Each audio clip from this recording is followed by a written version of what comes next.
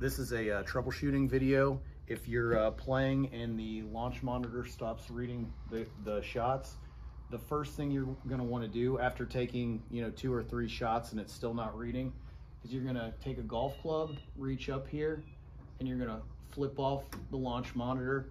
You wanna give it about five to 10 seconds to completely shut down.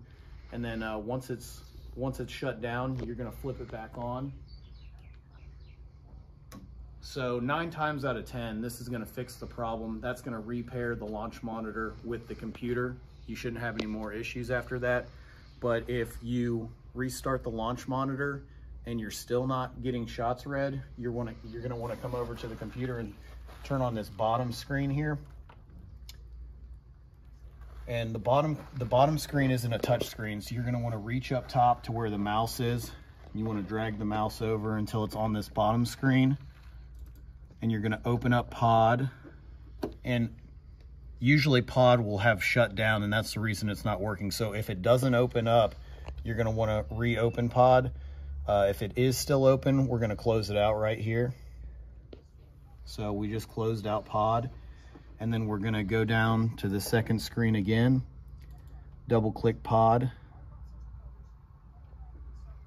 and that'll reopen it.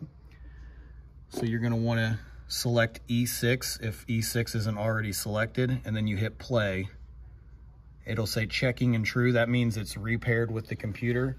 Once this is running, you wanna, you wanna keep pod up, so you're just gonna click on E6 and that'll put it in the background. So you'll be good to go uh, if you're still having issues after you've tried those two, uh, those two fixes, you're just gonna wanna call us at 513-850-3402 and we can log on remotely from our computers and go in and, and reboot the computer and make sure everything's up and running.